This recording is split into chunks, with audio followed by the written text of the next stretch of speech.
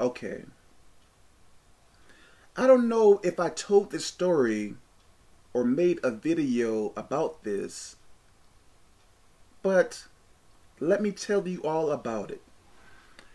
Around this time period, I would pray for about three hours a day. And some people may think that is a lot. When you hear about people praying for six hours, 10 hours a day, so on and so on, that three hours a day is nothing. now, I don't really pray that much now. At the most, maybe an hour every so often now.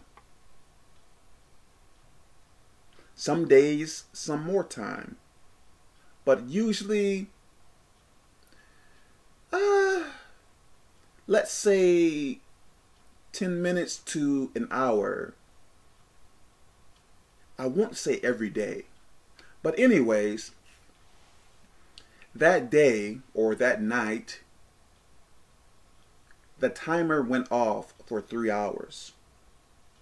So I was really enjoying my prayers, so I prayed more.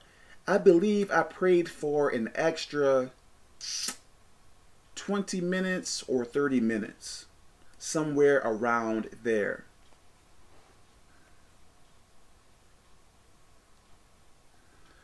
And when I finished,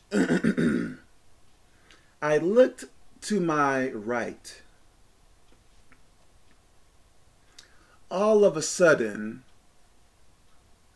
let's say that, no, all of a sudden, I saw this human like figure pretty much face to face with me.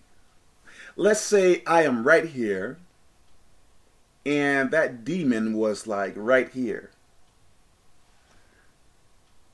Now, this demon had a human like face. As human as your face looks and my face looks. But the thing about it, that demon was very, very, very dark looking. As if it was burned. Burned in a fire or something like that. I'm serious. Like it was burned. Like a burned victim or something like that. Can you imagine? it is like I forget what time it was. Maybe it was 2 a.m. or 3 a.m. Really dark, really quiet. and you are praying to God for like three hours or more. Then you turn your head right to the right and you did not hear any noise or anything like that. And you see a dark face right in front of you. How would that make you feel? So, when I saw it, it startled me. And I turned my head quickly, as fast as I could. It is funny now, but back then, no. It was really, really freaky. So let's go to Ephesians chapter 6, verse 12. to the left is the King James Version, to the right is the Expanded Bible. For we wrestle not against flesh and blood, but against principalities, against powers, against the rulers of the darkness of this world, against spiritual wickedness in high places. So, what is that saying there? For we wrestle not against flesh and blood. So, what is the question you may ask me, Kevin? What is a principality? What do they mean by powers, rulers of the darkness, so on and so on? We have to understand that there are different ranks of demons. You know, if you go to the army, and I don't know about the ranks of the army, but you have, I guess, the private and the sergeant and so on and so on. And then you get to the class of the officers, and then you have the ranks of the officers. Well, there is in or a hierarchy of demons as well. There are different ranks of demons. So, when you begin to live for God, what do you believe that demons are going to leave you alone? Like, hey, this person is serving God, so let me move out their way. No. In many cases, they are going to attack you more. This is why I find it very hard to believe when someone tells me that they are a Christian, a follower of God, and they tell me that they have no trouble with demons. I'm like, what world do you live on? How are you serving God and not have problems with demons? Are you serious? You can't be serious. So I know that something is up. For we wrestle not against flesh and blood. So humans are not our problem.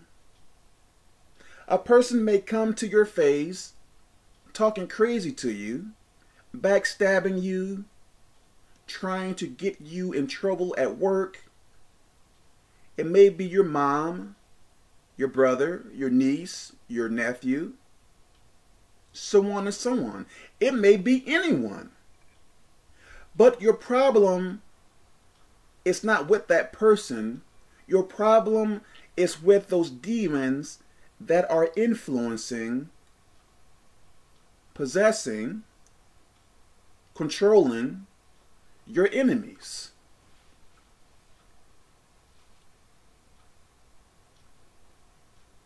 This is saying that our problems are demons. So, what can you do to battle against demons? Well, you have to follow God's rules and regulations when you are following, I have some people contact me and they are looking for this quick fix. Kevin, you know, I am having trouble with these demons. How can I get them off of me? And my mind always revert back to or what my mind does. It comes to me, hey, there is a large chance that this person is in sin. When you follow God's rules and regulations, God gives you authority over demons. So if you are not following God's rules and regulations, you have no power over demons. Only God has power over demons. So when you want to live outside of God, you are living outside of his power per se. That is why you are powerless. Now, by the grace of God, you are still alive now, even though you choose to disobey God. Some people ask me, hey, Kevin, can you cast this demon out of me? so you want me to fast for three days to a week or more and have me praying each day about the situation that you are in. You want me to either come to you in person or call you and cast those demons out of you, then what is going to happen? You are going to go right back to sin again.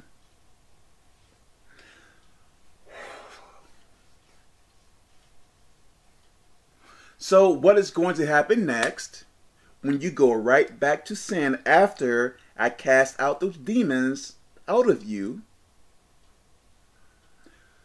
Those demons that I have cast out, they are going to bring more demons with them, and it is going to be much more difficult for me, or it is going to be the way that you are going to be, you are going to be worse, worse off. This is why I tell people getting demons cast out of you is a very good thing. But if you don't read your Bible, if you don't have any foundation of God, if you are not willing to sacrifice everything for God, what is going to happen? Someone is going to cast out your demons. But since you are not really changed inside, you are going to go right back to your sins again. So that week that I have went without food and water and stuff like that would have been a waste. So what I tell people, it is much easier to get the demons out of you yourself. How do you do that, Kevin? Okay. Read your Bible. Stop listening to secular music. Stop watching secular television shows and movies. Stay away from friends, acquaintances, co-workers, whatever, that don't want to serve God unless you are telling them about God. Read your Bible and pray and follow God's rules and regulations. Repent of your sins. By doing that, by doing right, demons are going to have to leave you. How can you be serving God the way that He wants you to and still have a gang of demons within you? No. Demons are going to begin to leave you when you begin to live the life that God wants you to live.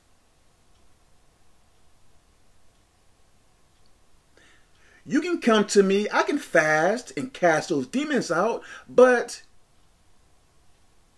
Nothing about you have changed. You don't have what it takes. How can I say this? You have not worked. Jesus, help me. I could cast the demons out of you, but if you don't have the push to do what is right, yes. If you don't have the motivation, yep, to do what is right, those demons are just going to come back. Look back. I wish I had the scripture on me. But when Jesus would heal or cast demons out of people, what would Jesus Christ say to those people? In so many words, he was saying, Sin no more, or else something worse will come upon you. That's what Jesus Christ would say. Why would he say that? So, the way that I am, I'd rather for you to build up a relationship with God first and see how that goes first. other than seeking the easy route, have a person cast out demons out of you, but you go right back to sin and your state of being is worse than it was the last time. So build a foundation with God first. For instance, a while back, this guy got really mad at me. You know, I sent him something to follow. Because what he wanted me to do is call him so I can cast out demons out of him. I'm like, look, just follow what I have written. This stuff is not going to work. okay. Conversation done. Ended.